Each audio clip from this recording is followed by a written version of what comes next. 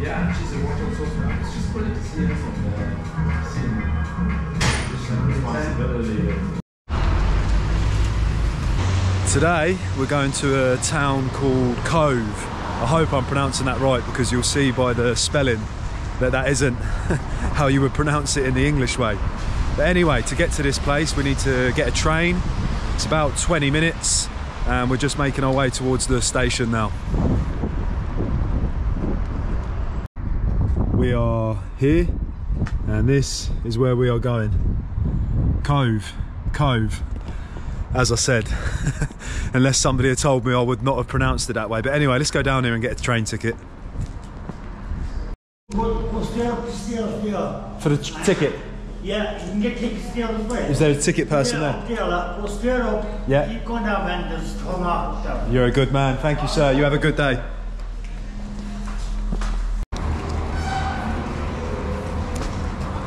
Hello. Hello. Please, may I have a ticket to Cobh? To Cobh? Uh, to uh, return, sorry.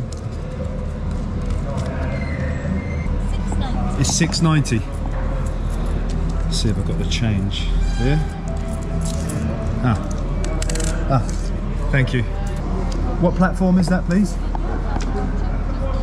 Just that one here.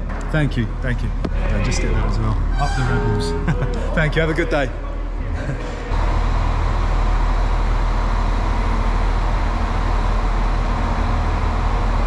So you've got the national trains behind me there. That one's going to Dublin, and we're on the local trains just here. We've only got a 10 minute wait.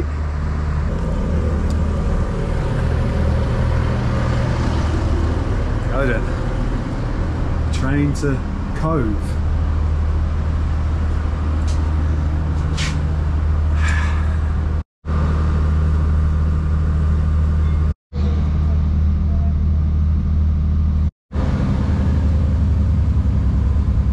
We are here, Cobh. Cobh, historic town. Look at this, we've got some tropical feel to some of these trees, even though the weather isn't very tropical. But anyway, let's go and take a look at the town and see what we can find.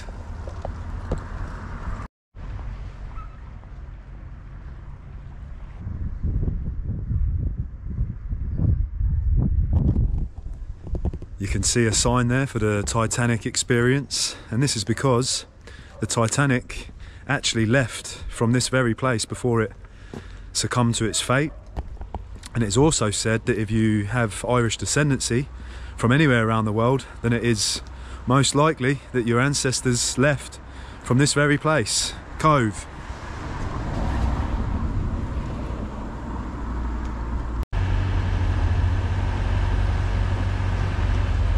Can see the entrance to the museum there, but behind me is the super imposing Cathedral of Cobh. Look at that building. We'll get up there and take a closer look later on. Little bit of sport memorabilia right there. I can actually remember watching Sonia O'Sullivan as I was growing up. Statues in the perfect place, I would say.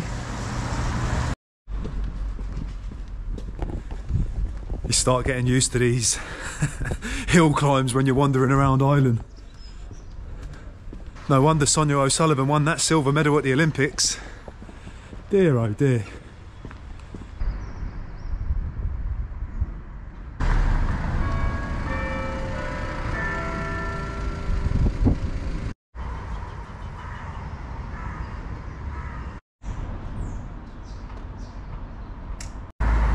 Little bit of historical information there to show you the significance of this town.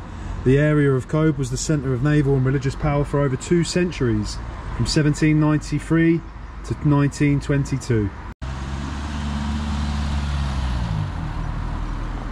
And there it is, St Colman's Cathedral. What an absolute gem of a building.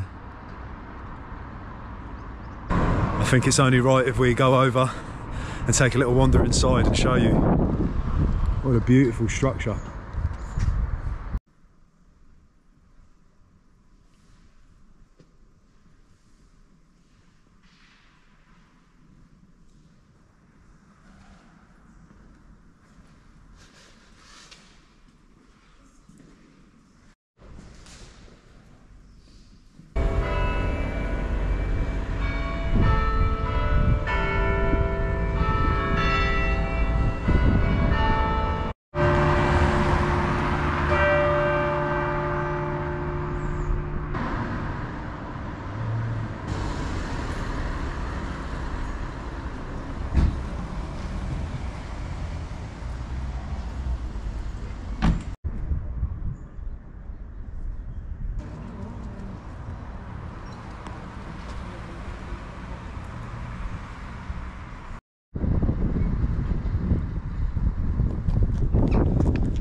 Motorbike Island. That is where I was planning to go, which is just over there in the distance. It's um, an old world star fort, also used as a prison, gone through many different uses, but um, the ticket office is closed.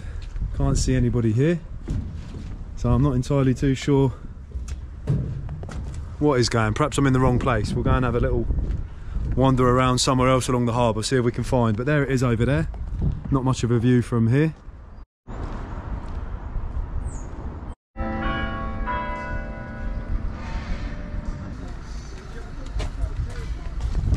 And would you believe it? Look at that.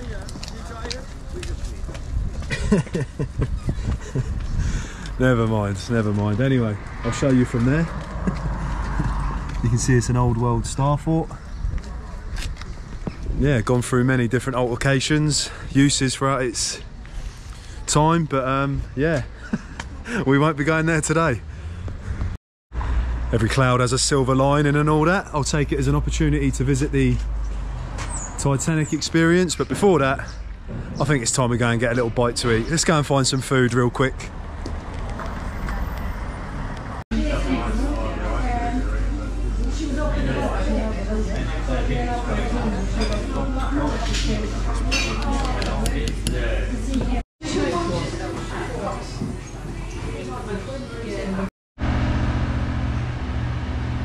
Just ate, Cafe Vega. And I've got to say, if you are in Cork, I recommend coming to this town of Cobh. It's not very big, but it has got a lot of character and a lot of charm, and that is something that is severely lacking in many of the places that they build today. You can see the cathedral back there. I've decided to take a little walk down to the Titanic Memorial Garden. 200 metres down this way. Take a little wander, see what we find. Well, I've actually misread that sign because it's not down this way. It was 200 metres up the way. so, looks like we're climbing these steps and continuing as we were. This is the third one that I've noticed of these now in these little towns and it's just a public library. There you go, take a book, leave a book. All sharing and all that. I like what I see, I like what I see. But anyway, is this the memorial garden? I'm not entirely too sure. If it is, I'm not going to lie, slightly disappointed. Not what I was expecting. I can see some Titanic references. Sure, nah, nah, nah, nah. There's a gate over there. I was about to say, you know, not one to criticise, but really, that isn't a memorial garden. Anyway, it looks locked. Chose a good time of year to come to this place. Nothing is open, or you've got to pre-book ahead. There we go, Titanic Memorial Garden. 2014 it was opened. And is it open? Is it open? No, it is completely locked. Actually, actually, we've got a trail round here. I'm having a little bit of a mare today. it does happen. Or is it a trail? Oh my God. it's not a trail.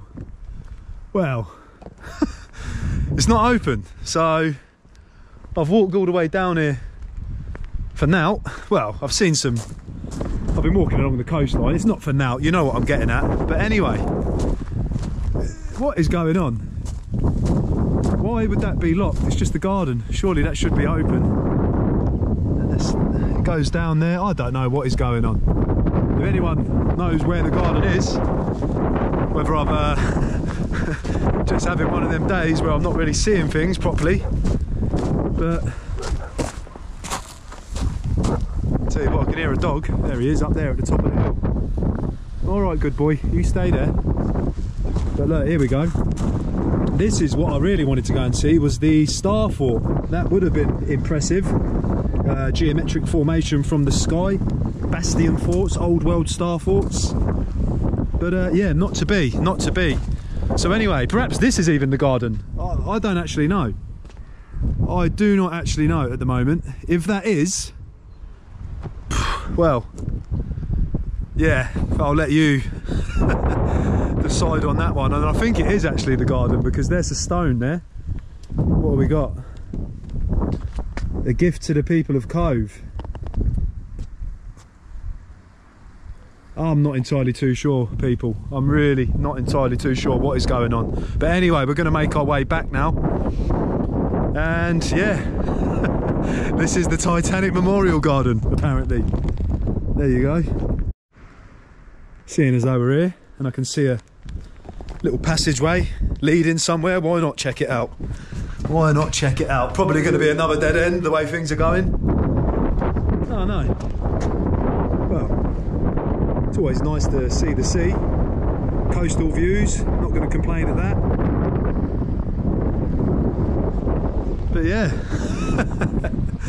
let's go back to the town.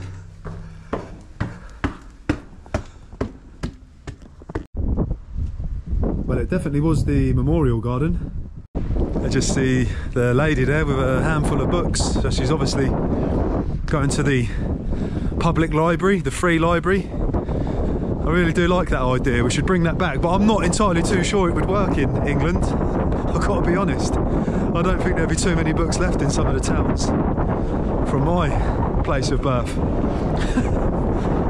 These old pictures really do fascinate me because we can see the grand buildings, the architecture that is just incredible. And then we see the people, horse and cart people, wooden boats, very primitive, very primitive, and yet the architecture, it's not primitive, it's spectacular. Some interesting information as we're walking along the coastal road here. The Lusitania, which was a UK uh, liner, a ship, was actually sunk not too far from here by the German Navy. And this was a catalyst for escalating things during World War One. We also have the Titanic leaving from here.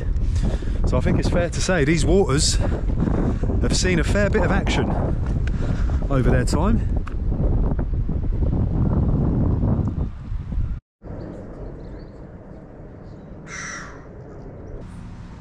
There you go. Three million emigrated from Queenstown. Queenstown is also the name of Cobh.